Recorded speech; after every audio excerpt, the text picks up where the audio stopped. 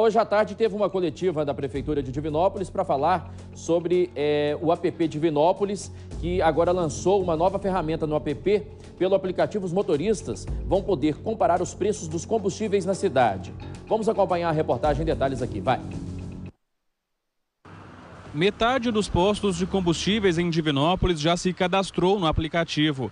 A expectativa da Prefeitura é que o restante também disponibilize as informações na plataforma a partir dos próximos dias. Ele, na verdade, é uma regulamentação da lei municipal, é, onde se determina que o PROCON deve, é, pode é, oferecer aos consumidores, criar mecanismos de divulgação de preços de itens básicos de consumo.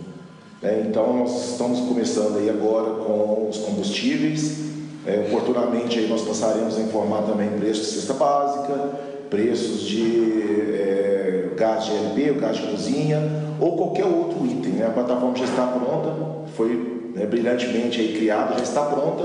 É só inserir o segmento agora econômico que nós quisermos e podemos fazer essa pesquisa e fazer essa divulgação para a população. A prefeitura já fez uma fiscalização nos postos para verificar denúncias de que empresários não estavam repassando para os clientes o desconto de até 50% que os combustíveis tiveram nas refinarias. Com a nova ferramenta no app de Vinópolis, os motoristas vão poder acompanhar os melhores preços. Nós temos uma lista de empresa, é, através dela nós temos a geolocalização de cada posto que está cadastrado com a sua fotografia.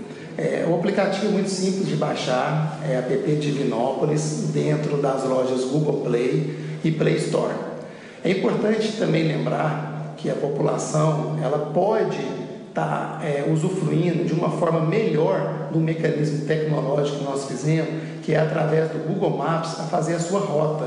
Ele pode informar ao tempo real do seu aparelho onde que ele está a localização e buscar até aquele posto que ele viu o combustível que melhor o atende no preço. Durante a coletiva de imprensa, a prefeitura explicou que pelo aplicativo o consumidor também vai poder denunciar os postos que não cumprirem os preços divulgados. Não é facultativo para o estabelecimento, é obrigação, é um dever de prestar as informações. Aquele estabelecimento, seja qual setor, né, que se negar ou criar algum tipo de embaraço, omitir informações ou prestar informações falsas, ele poderá ser, via sofrer sanções administrativas de multas no futuro. A ferramenta gratuita já pode ser usada pela população. A app de Vinópolis, depois que estiver baixado, e no campo serviços, nós vamos ter uma aba que chama PROCON. Temos a pesquisa de preço.